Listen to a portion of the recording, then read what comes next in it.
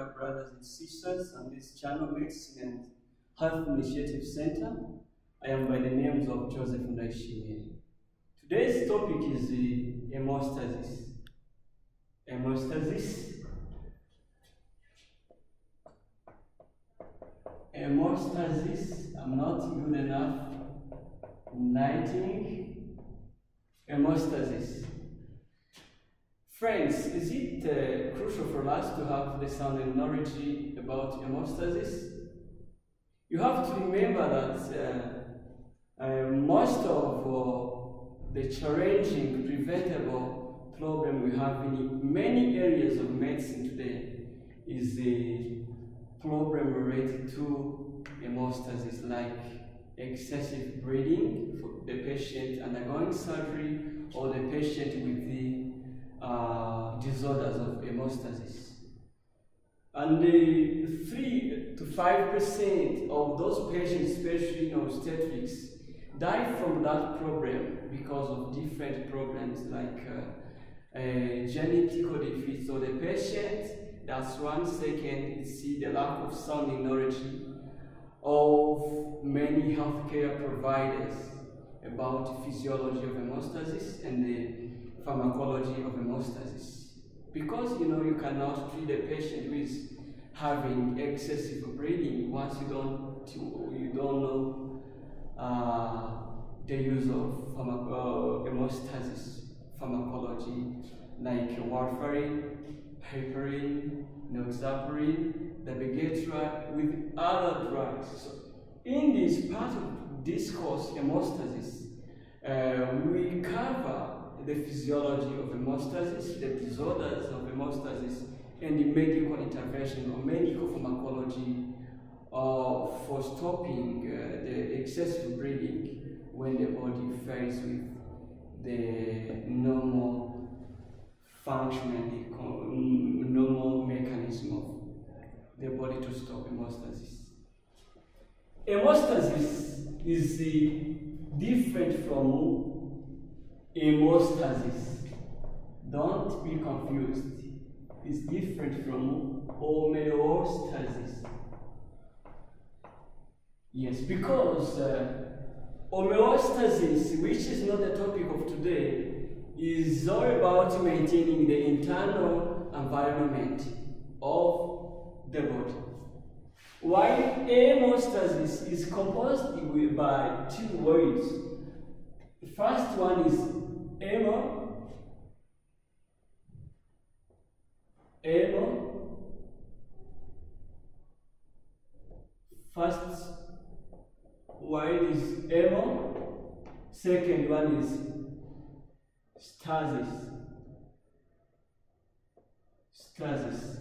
Hemo means blood, while stasis refers to stopping. Stopping. Now, hemostasis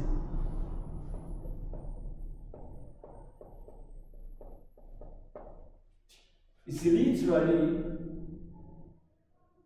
mean stopping blood. That's one. Second, hemostasis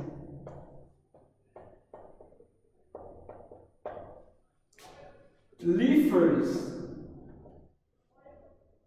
to the process by which body sears sears the excessive blood leakage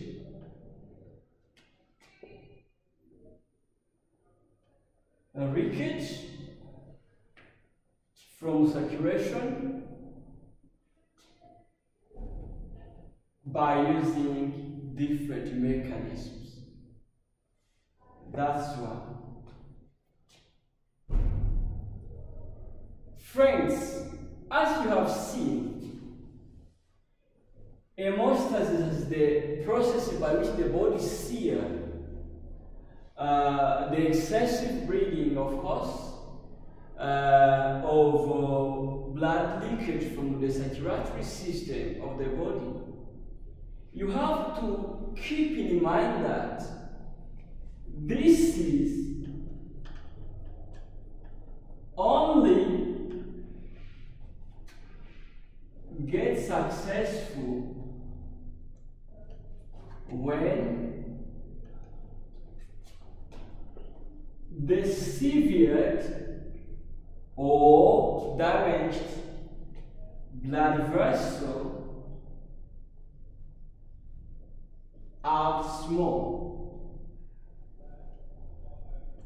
To mean that for this processing cannot succeed for when the larger blood vessels are big or larger blood vessels.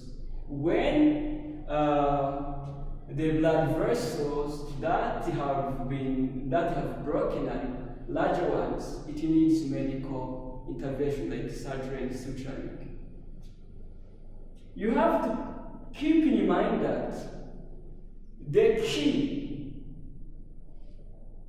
players in this game or match are platelets. The key players in this game of homeostasis is platelets. Platelets. You know, this uh, one of the three components of blood cells. Because we have, you, if you remember, we have white blood cells, red blood cells, and platelets. So now, friends, we have uh, three steps to have this hemostasis. First one, first one, we have uh, three steps of hemostasis. Three steps of hemostasis. Let me change for this side to mean that to have hemostasis, to have hemostasis, the body must fight to have those three steps. Three steps of hemostasis. The first step for the body to be successful during stopping the blood leakage is uh, what you call vascular spasm or transient vasoconstriction. That's the first step. Second step, we have temporary formation of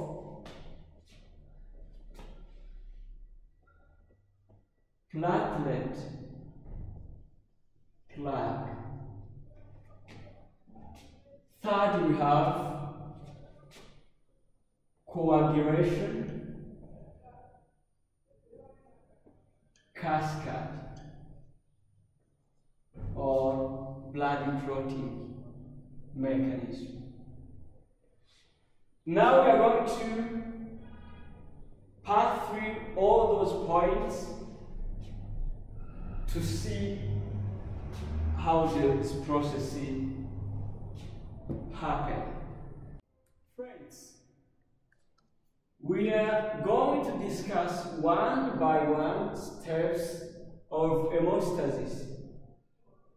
First one you have seen is uh, vascular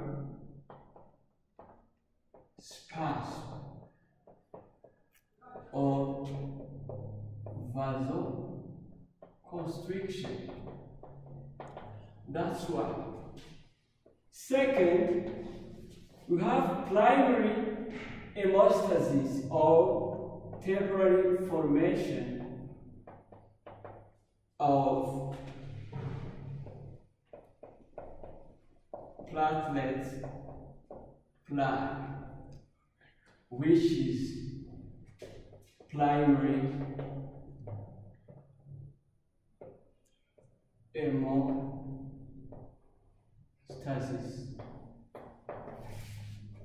Third, we have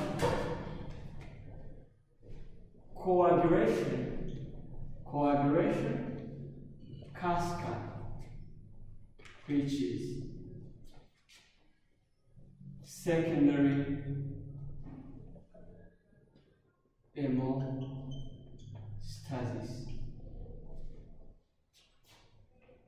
Friends, we are going to discuss one by one.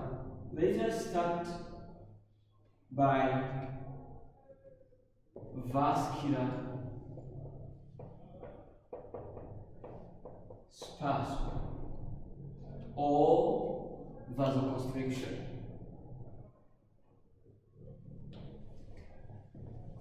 This vascular spasm starts or gets initiated when the vessel is damaged.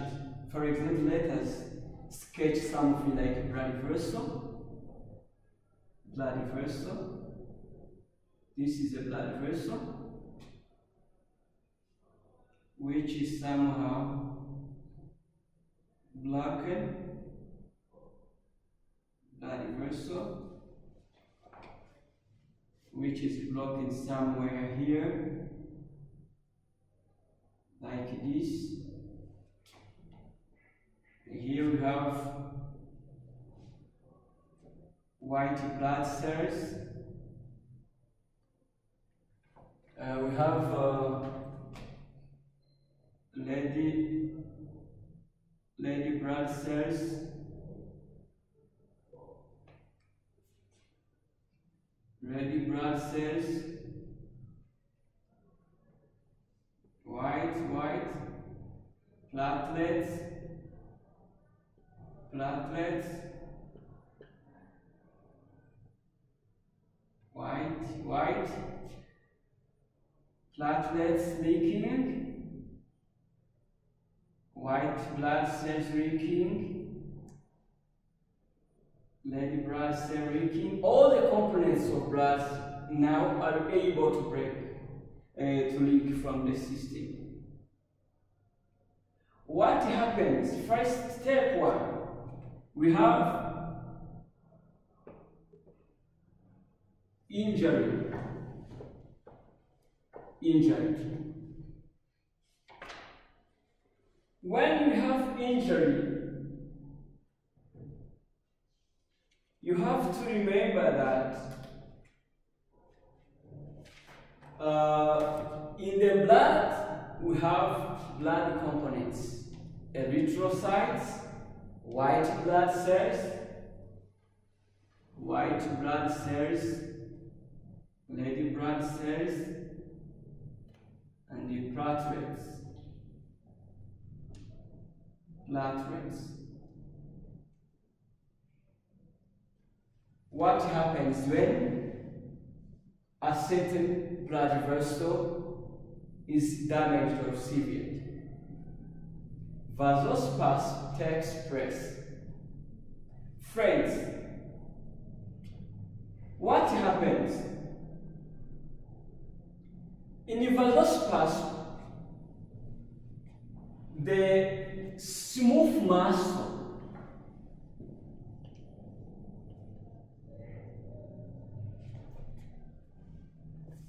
in the walls of vessel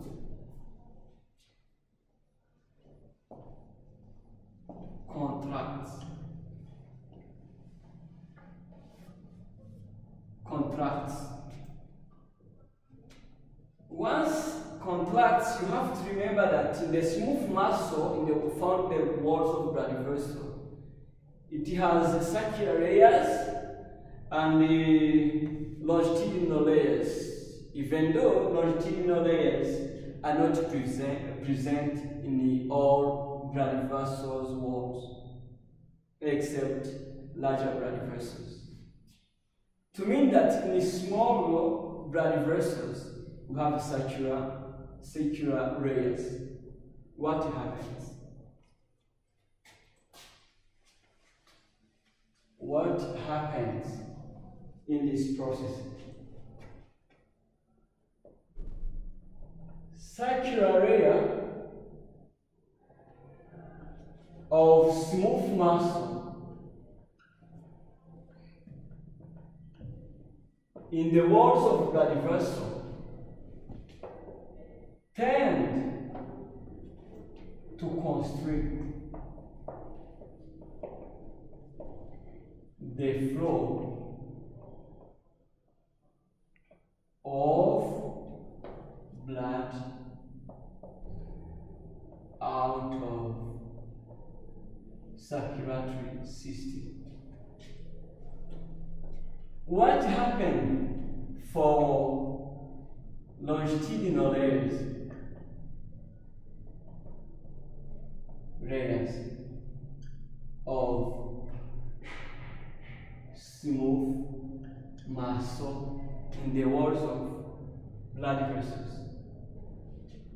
They shorten they shorten to stop, to try to stop this leakage of blood from circulatory system. Friends, once this contraction happens, the blood vessel start to release some substances that locates and enhance vasoconstriction. Are those substances? Vascular spasm or vasoconstriction is believed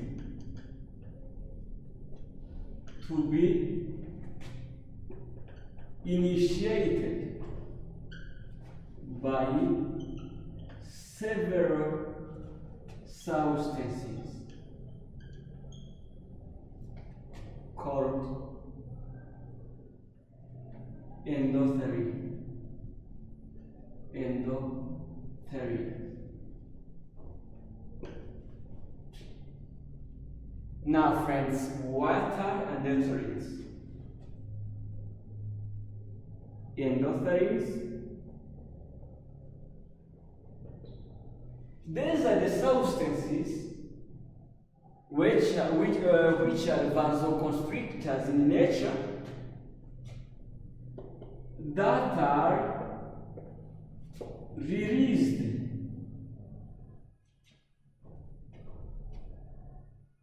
by two things. One is vessel lining cells. Second is by pain receptors. Pain receptors in response to the injury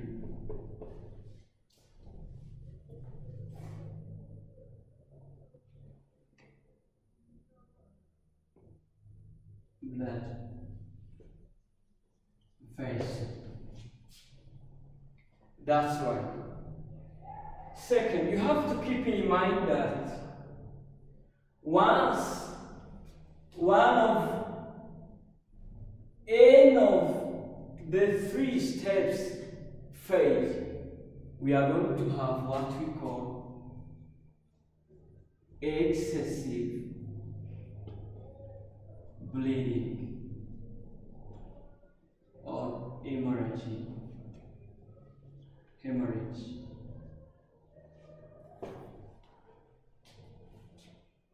this is all about uh, vascular spasm. Now we are going to go on with the, the second part, which is formation of platelet plug. Friends, let us move on the second step of hemostasis, which is primary hemostasis or formation of temporary platelet plug. Two, formation of platelet plug. This is uh, the second step in hemostasis. What happens in this phase or step of hemostasis? Friends, remember in starting I've told you that in this game the key players are platelets. In this stage, remember friends, in the plasma that is uh, fruiting free of platelets. These platelets start uh, to stick or to move toward the site of injury. Once they reach there, once they reach there, they start to clump together and became spiked in the, they start to clump together, became spiked and sticky with underlying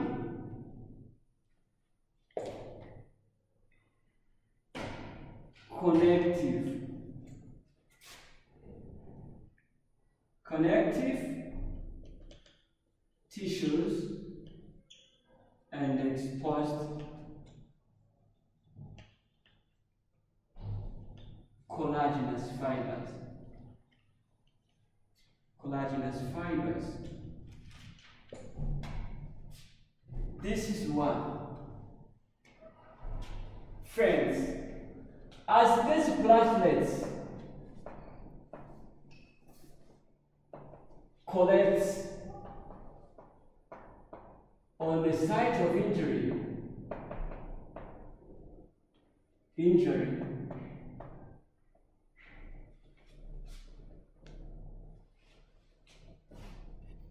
they start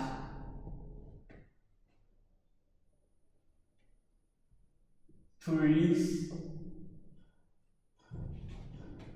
some substances that enhance homeostasis.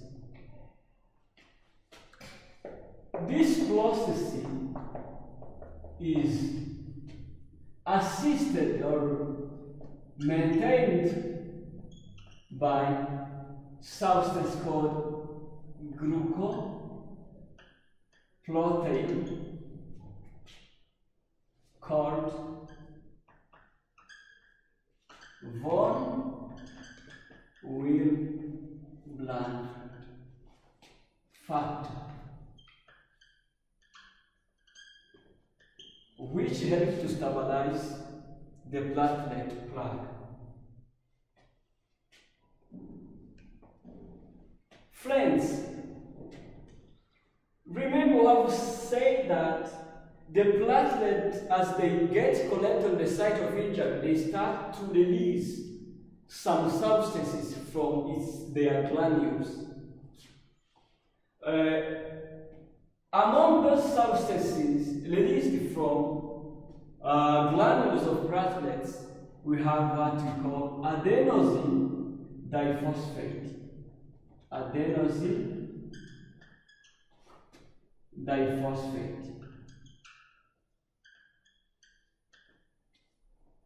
which liquids additional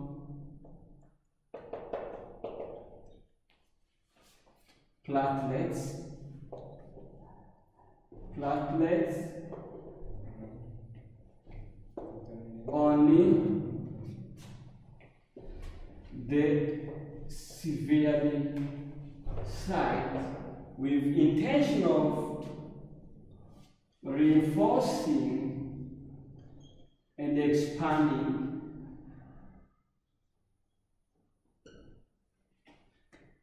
platelet plaque.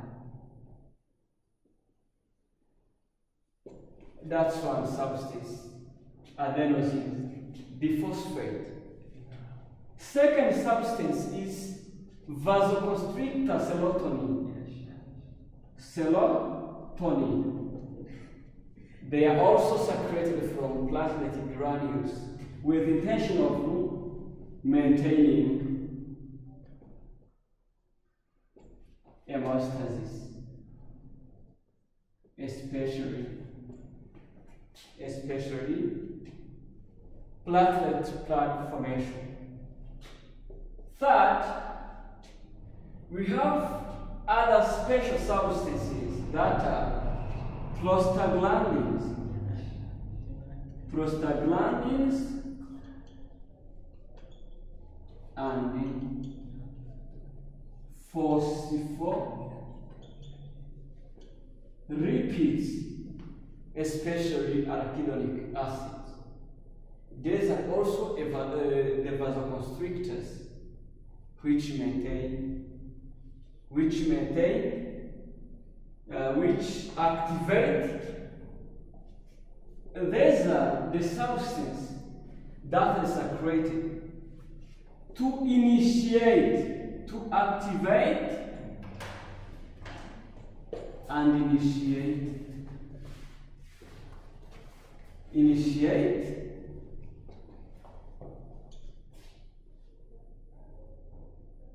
Another step which is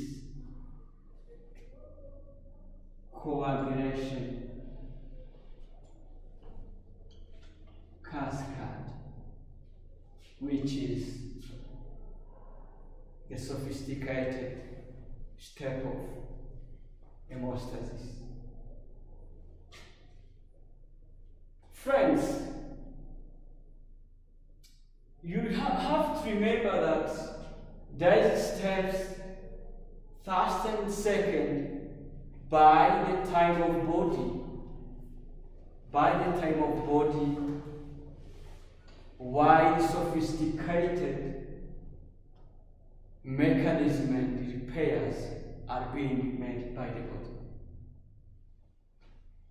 Now we've already talking, we already finished to talk on this two points or steps of hemostasis.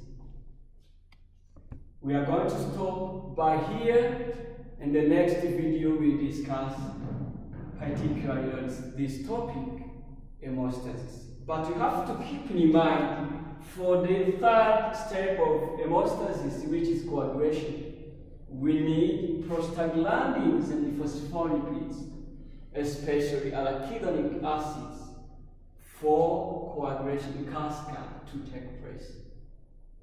Thank you.